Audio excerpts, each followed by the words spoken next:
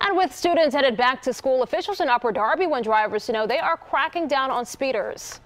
See this corridor, this Route 1 corridor, speed limit is 35 miles an hour. I would guarantee you the majority of speeding is 50 miles an hour without blinking an eye. The goal is here to protect our children. News along Township Line Road, officials met this morning to discuss increased patrols and speeding enforcement for the start of the new school year. Tightened security around schools also means more officers on the roads and school zones.